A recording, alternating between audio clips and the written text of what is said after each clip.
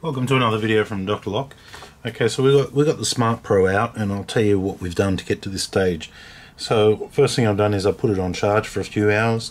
Second thing I did is I got to the back of it, plugged in the USB, plugged it into the computer, used the uh, MVP uh, uploader where you do all your um, uploading of tokens and things like that. And basically I just updated all the firmware, got everything ready uh, to go. I did watch another video from um, Advanced Diagnostics and it says basically you really got to plug in this little card that comes in cellophane and um, and do it that way read all the instructions and things like that. They urge us not to just jump in there and start playing around like any other type of electronic device. And for me that kind of steals the fun. So I decided to just plug it in um, power it up do an update and boom chakalaka she works pretty good. So that's um, the way I've done it, and I'm just going to take you through and um, tell you a few things in the manual because um, I actually did read this one. I had a bit of time when I was on the Pooper, so I read that one. And um, basically, at the back here, there's nothing really to report. You know, we've gone over that. There's not much. You know. Oh, one thing I did find very interesting was this part right here. You're not allowed to hang that on the back of the steering wheel. It says it actually gets pretty hot here. I mean, this is probably bigger than the computer that NASA has when they sent a man to the moon. And it's got little cooling fins and stuff like that. But you can't clip it on the steering wheel, which I was a little bit annoyed. And it says it might get a little bit hot too. Not to leave an extreme heat. And not to use like a football. Don't kick it, don't drop it, don't spill it. Um, talk nice to it. If you think it's upset, buy it flowers. Pretty much. Or buy it some more tokens. So that's uh, what the instructions kind of said. Um, oh yeah, if you enter in your wrong passcode too many times, it's going to start locking you out. Try it once or twice, oh, sorry, three times, you'll be out for a minute, and yada yada yada gets longer, longer, longer.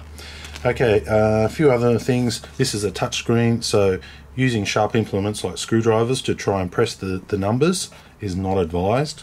Okay, I think we all got that one. Um, yeah, don't leave the screen idle for long periods of time as it might uh, result in ghosting. I mean, you would need to leave that image on for years before you're going to get that. But anyway, it's in there. Don't muck around with the battery. Lithium ion, if it's short and damaged, don't use it. Uh, what else? Notes, usage tips, and additional information. Really nothing. So, so that's what I was kind of talking about there. Bit disappointing you can't clip it on the steering wheel. I mean, you got to sit there with that on your lap. It's not, you know, it's got a little caution hot surface there too. All right. Um, yeah, so that's basically the walkthrough of the instructions as much as I read the instructions. So what I'm going to do now, I've uh, done a previous video on um, on actually what's in the box and just um, unpacking it. And um, now what we're going to do is we're going to go through the whole menu. Okay, so if you want to look at the whole menu and what type of cars it has.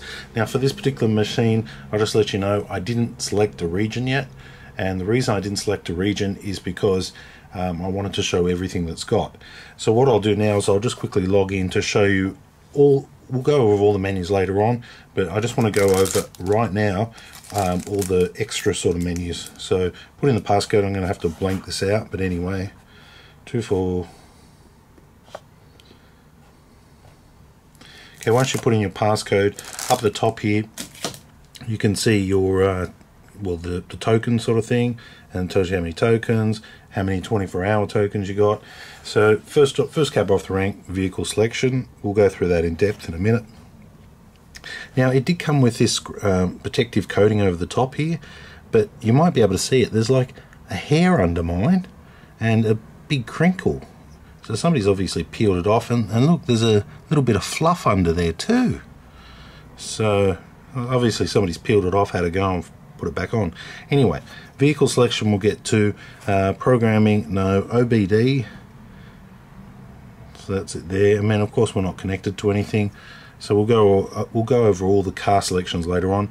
In the actual car selection here, I'll just quickly show you when you do pick one, you can actually pick by the so here we go here, we're selecting by the car. If we flick this little switch across, we're going by the type, and that's that little engine, engine light there. It also can reset the service as well on some particular vehicles, and on some vehicles it even gave you a little image of the key, which is pretty cool. Okay, up the top here we have the voltage of the car, that's here. We have whether or not we're connected. We have our Wi-Fi, we have the battery, and we have the time so that we can adequately char adequately charge the customer for our time.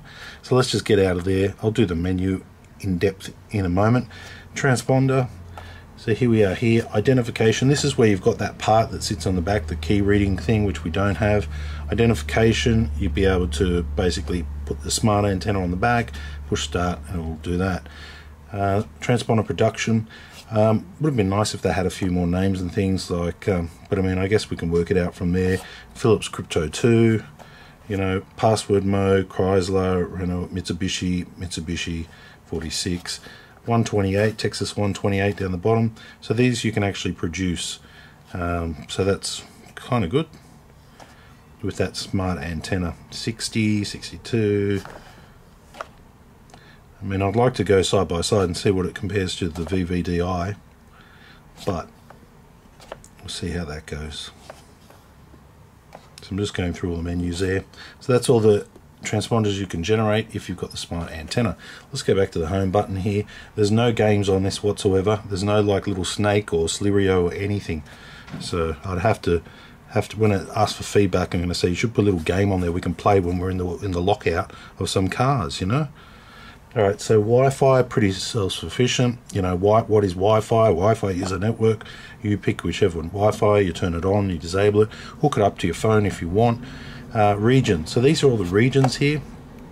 At the moment, I haven't selected one. So that way, it's going to show me every car basically that I can do that's actually in the system. Languages. Once again, everything from Arabic down to down to everything else. English was pretty much automatically selected when I got this machine. All the way. So Arabic down to Turkish basically.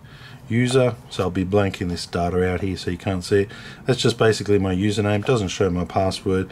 Um, and I'm enable feedback. So after each pro, like I did just try it in the programmer car, and it says, um, "Do you want to leave feedback?" So they are asking for you to leave feedback all the time. So I wonder if they're reading it or not, or who knows. But that's a pretty cool little feature because it means at least if there's something not working, if you're leaving feedback, the engineers are going to kind of see that. So display. Okay, so we've got our brightness here. That's pretty cool. Change the wallpaper. Uh, let's see if that works. I went to sky. Oh, there we go. we have got sky background now. So that's um, the wallpaper. Ooh, okay. I think I prefer sky. Yeah, sky's good enough. Look at that. Okay, no sexy ladies or anything on the back. We didn't get that option here. See, it doesn't say super hot female or super hot guy. You know, if there's chicks out there or females with program keys, and there is, there is female locksmiths out there. So, you know, we should have super hot guy and super hot girl. So then we could select between them or super hot car. Some people get there. They like to look at cars more. Uh, general down the bottom. Okay, so there's our serial number, which will be blanked out. Our battery level, sorry, mains battery and system battery. So that's very interesting. It looks like maybe there's two batteries in the thing. I mean, the size of it and weight of it, is quite possible. So I can't really see anything else to really poke and prod around at. Um, I can't show you the token setting. I thought there was something there. Uh, we've got updates as well. We're pretty much up to date there. Uh, my smart profile. Okay, here we go. Sorry, I did miss one. My smart pro. Okay, pay uh, token bank. There's none in the token bank because I got an upgrade. Once I update this, I'm then meant to plug in my MVP so I can image whatever's on my MVP so I can get a credit for my tokens. But I didn't have any tokens on my MVP. This one here is 24 hour unlimited token bank. I don't have any on that either. What I do have is the uh, three month one because I just bought this, which I believe is this this thing up the top here. So there's uh, pay as you go, unlimited token plan active until this date, which is this corresponding date up the top, October 31st, and then software purchased. Now these are all the software that came with the machine, um, so whether or not they're going to be useful or not, I don't know. I mean, I haven't done, um, you know, any rover ever, really. No one's ever said, oh, I've got a rover, and you need to help me make a key. Just not a popular car here. Daewoo, Toyota, Toyota Lexus, and then we start getting down into all the crosses here, basically, that um, all the extra software we don't have. So as you can see, there's a lot of them, and each one of them costs you money. Um, you know, they are quite expensive. I haven't priced them up exactly, but they seem to be coming out with new ones all the time, and they're like I don't know, 500 or 1,000 bucks per module. And as you see there, it's just impossible to own them all. I mean, I do know some people that do own them all, and they've been able to move from there, you know, move them along as the systems move along, so they never need to rebuy them. But on saying that, I wouldn't be buying one unless um, I was using it every second day. Um, Hyundai would have been nice to have. And then you've uh, like Subaru, I don't do a lot of Toyota, Lexus. You know, it'd be interesting to know which actual makes and models they're talking about because there's so many of them, so many different formats, different makes and models, different ways of doing it, and this can't do any EEPROM programming that I know of, but it will have the key coil on it. So, which was interesting because I'll just take you through a quick little walk here.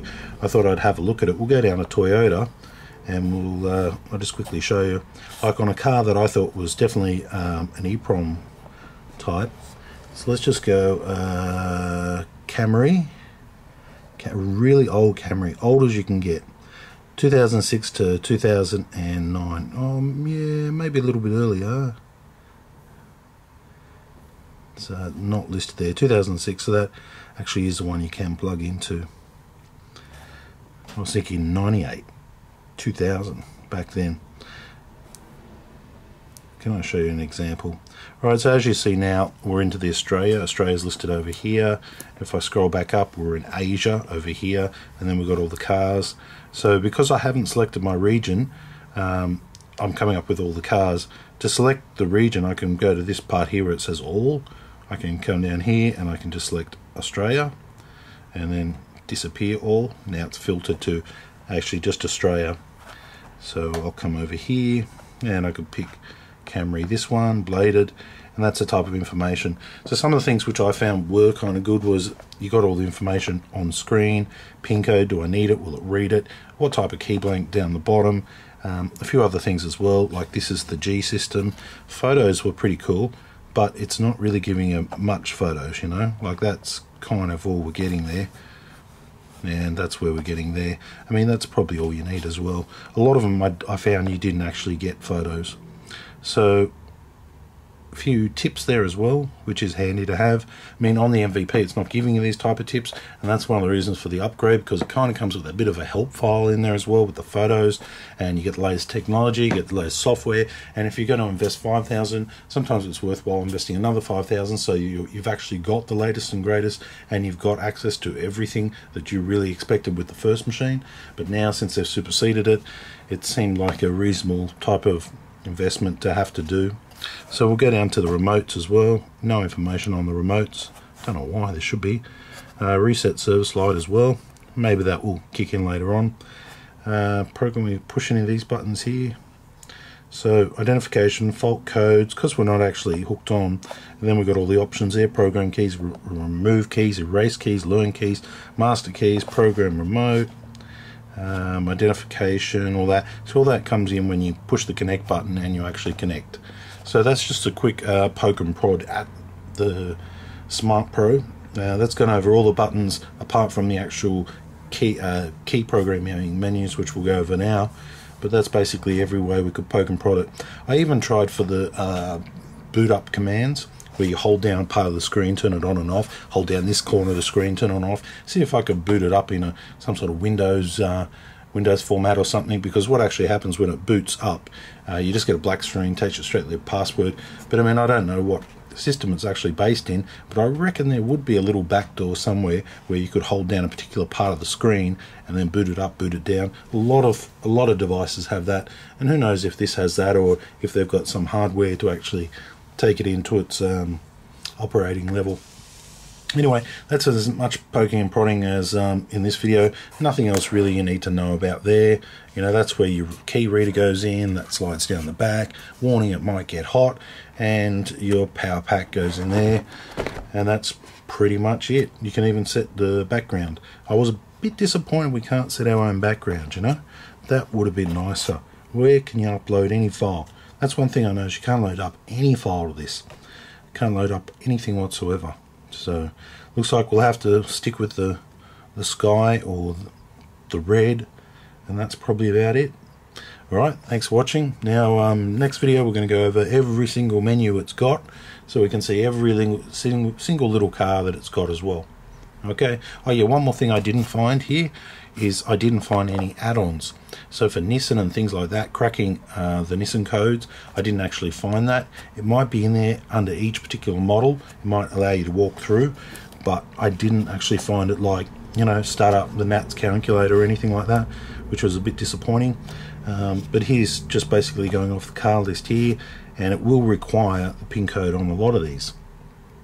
Uh, where we pin code for key, pin code, pin code required, yes, but there's no actual like, you know, plug-in for that.